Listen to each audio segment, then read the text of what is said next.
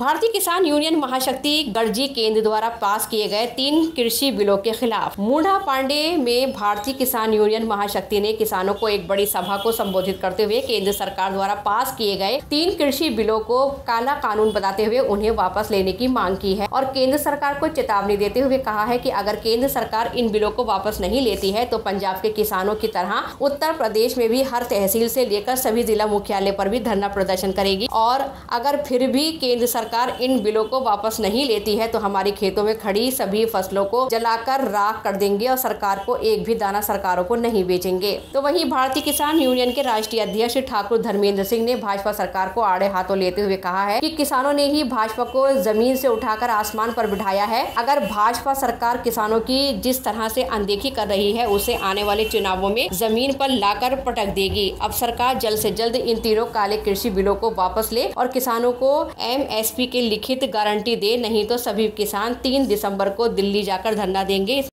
पहुँचेंगे अभी। देखिए अस्सी गाड़ी हमारी भड़के गई थी जो मीडिया में भी निकला है। सोशल मीडिया और अखबार के माध्यम से सबने देखा भी है परसों के अखबार में। तो वहाँ टोटल मेरी यूनियन पुल के नीचे पड़ी हुई है। उन्होंने कोई ऐसा मैदान भी नहीं दिया जिससे कि हमारी किसान मजदूर अच्छी जगह पर बैठ सके अपनी बात को रख सके लेकिन एक मच्छरों में पड़े हुए हैं। कोई अच्छी व्यवस्था नहीं है।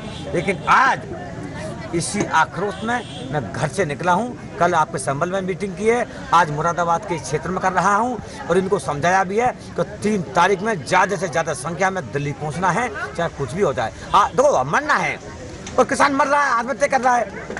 चारों तरफ़ से किसान सरकार मार रही है किसान को। बिजली विभाग से मुकदमे दर्ज करा रही है। उसको उचित रेट नहीं मिल रहा। ये काना कानून का, काना कानून पास कर दिया काला कानून। और अगली बात उद्योगपतियों की सरकार रही है हमेशा पूंजीपतियों की सरकार रही है किसानों की सरकार नहीं है। अगर सरकार कृषि बिल वापस नहीं लेती है कुछ अमेंडमेंट करने की बात करती है क्या किसान उसको मानेगा? किसान कृषि कीमत पर नहीं मानेगा चक्का जाम करेगा पूरे भारत में चाहे छोटे रोड हो चाहे बड़े हों। मरेगा और मारेगा। चलवाओ पुलिस से गोली। कितने किसानों को आप मरवाएँगे? कितने किसानों को मरवाएँगे? हैं? किसान की तरफ़ इन्होंने आज तक ये सोचा। कि इस कोरोना महामारी में इस किसान मजदूर ने बड़ा साथ दिया है सरकार का। और कोरोना महामारी से निपटने के लिए अपने घर में सुरक्षित रहे। अपने कहीं काम पे नहीं गए कहीं उनको झाड़ी नहीं मिली कहीं रोज़गार नहीं मिला।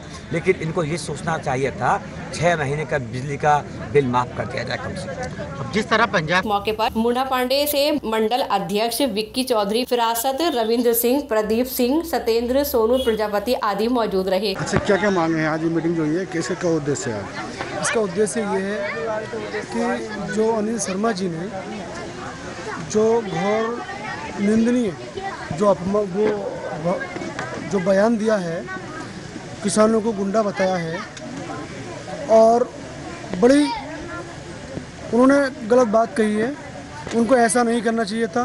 किसानों को गुंडा बताया है। किसान गुंडा कहाँ है? किसान तो अन्नदाता है। किसान तो मजदूर है। किसान मजबूर नहीं, मजदूर है। और किसान अन्नदाता है वो हिंदुस्तान का पेट भरने का काम करता है। आगे क्या रणनीति रहेगी आपकी अब हम तीन तारीख में दिल्ली कूच करेंगे और वहाँ सरकार से अपनी मांग को मनवा कर ही रहेंगे। कितने लोगों का इंतज़ाम आपको जाने का यहाँ से? मुंडा हमारे यहाँ से करीब साठ गाड़ियाँ समथिंग जाएँगी।